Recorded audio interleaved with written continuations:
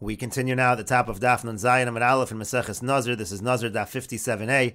On the previous summit, Rabbi Yeshua said that we cannot learn out that a Nazir shaves for a Revius Dam from Etzem Kisaora because it is a Halach Lamoshe Sinai. And the Gemara now asks Iboy who they had the following question: Etzem kisaora halacha urevius dam kal Is it that etzem kisaora is halacha lemoshe misinai? Is that what Rabbi Yeshua meant? And the revius dam is being learned from kal v'chomer. V'ein don and kal v'chomer halacha. And again, you can't learn a kal v'chomer from something that's halacha lemoshe misinai. Or Dilmer, maybe he meant the other way around. Revius dam halacha, the concept of revius dam, in terms of the fact that it's metame, it causes tumah ba'oel. That's a halacha lemoshe misinai. Etzem Kesora Kal V'chomer, and we're learning from Etzem Kesora through this Kal V'chomer, and that would be a problem. Vein done in Kal V'chomer mehalacha. You're not allowed to learn again. You can't learn to this case of Revius Dam, which is a halacha l'Moshe Misinai from this Kal V'chomer. And the Gemara says, Tashma, come in here the following proof. Etzem Kisaora halacha or Revius Dam Kal V'chomer. The way it says it over here is that, again, Etzem Kisaora is the halacha l'Moshe Misinai and Revius Dam is being learned from a Kalvachomer, Ein Don and Kalvachomer mehalach, and what he was arguing was, you cannot learn a Kalvachomer from a halach Moshe Misinai, Hadron halach Kohen Gadol, we will return to you, Perak Kohen Gadol, this is the end of the seventh Perak of Maseches Nazir. If you're enjoying these videos and this channel, please like, share, and subscribe. And please take a look at the description box below to see how you can, you can support this channel. And we will now begin the eighth parak of Maseches Nazir. And Mishnah says, Shnei Nazirim Sha'amar Lohen Echad. Let's say you have two Nazirim, and one person tells these two Nazirim, Ra'isi Echad Mikem Shanitma. I saw that one of you became Tameh. Ve'eni Odeya Eza Mikem, and I don't know which one of you is Tameh. So the halacha is Megalchim, they shave, Umavian Korban Tumah Korban Tahara, and they bring two korbanos. One will be a korban for Tumah, and one will be a korban for Tahara, meaning one of them is considered Tameh, so one of the korbanos will be for him, and one of them is considered a Nazir Tar. He needs to bring concluding korbanos for the end of his Nazirus, so one will be a korban for one of them, and one will be for the other, and they make a condition.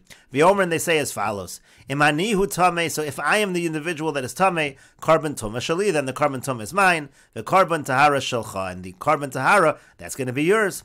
And if I'm the one that's pure, korban tahara shali, then the korban tahara will be mine. The korban tuma shalcha, and the korban tuma will be yours. The sovereign shloshim yom, they then go ahead and they count their 30 days of nazirus, umevian korban tahara, and then they bring a korban tahara, v'yomer, and then they say as follows, imanihu atame korban tuma shali, the korban tahara shalcha. Again, if I was the one that was tummy, so the korban tumah was mine, and the korban tahara will be yours. Vizeh korban taharasi, and then this korban is going to be my korban tahara. Vimani atar, and if I was the one that was tar, korban tahara shali, then the korban tahara that was brought was mine. The korban tumah shalcha, and the korban tumah that was brought before was yours. Vizeh korban and This is the korban of your tahara, of your purity. And the Gemara says, Katani shnei nazirim shamar lohem ra'isi echad mikem shenitma. So it says in our Mishnah, there were two nazirim, and somebody said to them, I saw that one of you became tame, ve'eni odeya mikem, and I don't know which one of you became tame. And so the Gemara asks, V'amai, but why is this the halach in the Mishnah? Called Safik Tumah HaYachid, because when it comes to a doubt of Tumah that takes place in a Rishus HaYachid, in a private domain, where do we know that a Safik Tumah Rishus HaYachid were Machmir? We learn it out Misota, we learn it out from the case of Sota. Masota, Boel, Vinevelis, and just like by a sota, there are two individuals involved. There's the Boel and the, the, the. There's the man and the woman. Afkal, Safik Tumah, Rishas. So too, when we talk about a Safik Tumah, Rishas Hayachid that were Machmir, could go into Ika Beit Shrei, has to be that there are two people. If there's more than two people, that's already considered a Rishas Harabim.